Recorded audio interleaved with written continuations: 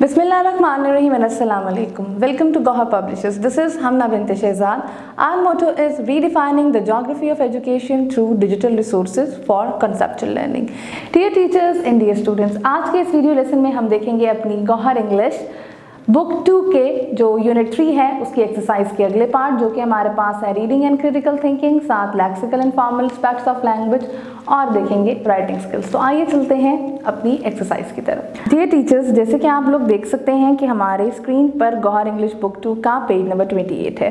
Reading and critical thinking skills इसमें हमारा जो पहला क्वेश्चन है match the naming words with the picture अब आप ये नाम पढ़ेंगे, जैसे बॉय टेबल मस्जिद शर्ट लैम एंड हाउस हम इनको इनकी रेलिवेंट पिक्चर्स के साथ मैच करेंगे।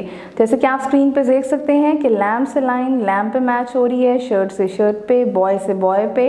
हाउस आपका जो है वो हाउस के साथ, मस्जिद and this is table then हमारे पास अगली जो आ रही है एक्सरसाइज जो है find the date of Eid ul Azha on the calendar ये इस्लामिक फेस्टिवल कैलेंडर हमें एक दे दिया गया हुआ है। इस कैलेंडर के मुताबिक हमारी कुछ डेट्स अगर आप देखें, जैसे कि स्क्रीन पे हैं, वो हाईलाइट्स हैं। उनके बॉक्सेस को रेड कलर से कलर कर दिया गया है। अब आप नीचे जो इंस्ट्रक्शन दी हुई है, अगर आप देखें मार्च वन लैलतुल मिराज, ठीक है? देन आपके पास अगली आ रही है ट्वेंटी एट को, लैलतुल बरा। देन उसके बाद रमदान स्टार्ट हो रहा है आपका।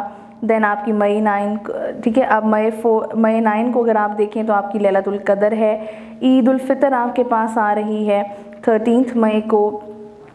देन अगर आप उसको देखें, जुलाई नाइनटीन को आपका अरफा का दिन आ रहा है, ठीक है? और जुलाई ट्वेंटी को ईद उल अधा आ रही है।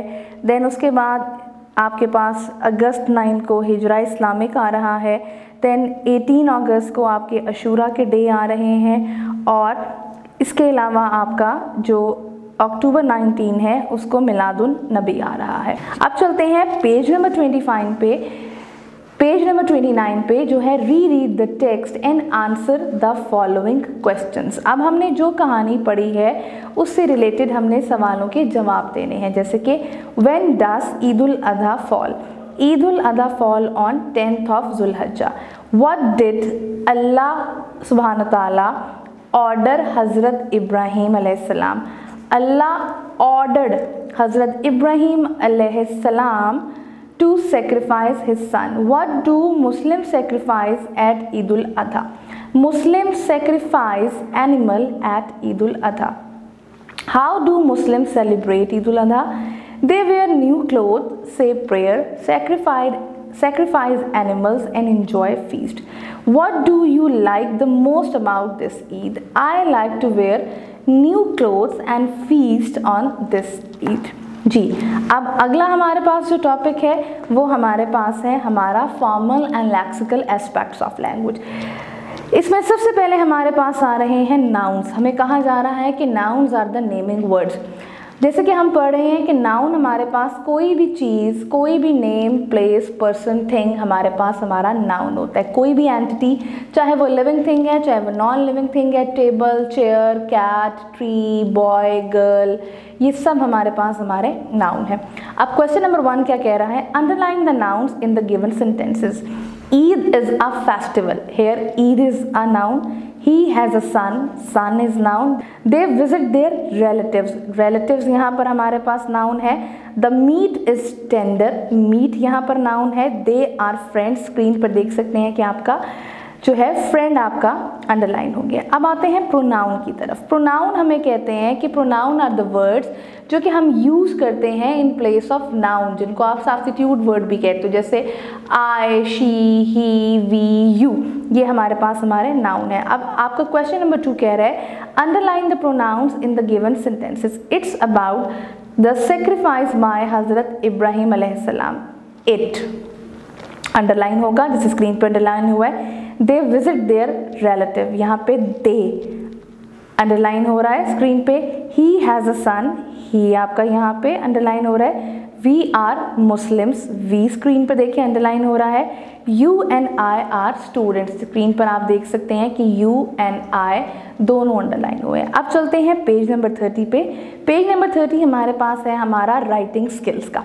राइटिंग स्किल्स में हम यहाँ पे हमारा क्वेश्चन नंबर वन कह रहा है write the ordinal numbers in the words in the given spaces ठीक है जी। हमारे पास दो तरह के नंबर्स होते हैं। पहले नंबर होते हैं कार्डिनल नंबर्स कार्डिनल नंबर कौन से नंबर्स होते हैं? कार्डिनल नंबर्स होते हैं जिनको हम कहते हैं वन टू थ्री चाहे हम उसको डिजिट्स में लिखें, वो हमारे कार्डिनल नंबर्स हैं. वन टू थ्री चाहे हम उसको स्पेलिंग में लिखें O N E T W O T H R E E ये कार्डिनल नंबर्स हैं. चाहे आप डिजिट्स में लिखें, चाहे आप नंबर वर्ड्स में लिखें. दूसरे हमारे पास हमारे ऑर्डिनल नंबर्स होते हैं. जब हम ऑर्डिनल नंबर्स की बात करते हैं तो ऑर्डिनल नंबर से हमारे पास मुराद हमारे वो नंबर्स हैं. जो किसी पोजीशन को शो करेंगे। जैसे कि वन की जगह अब फ़र्स्ट आ जाएगा, ठीक है? आपके पास टू की जगह सेकंड आ जाएगा। जैसे कि आप स्क्रीन पे देख सकते हैं, ये ऑर्डिनल नंबर्स हमें लिखे हुए हैं वन से टेन तक।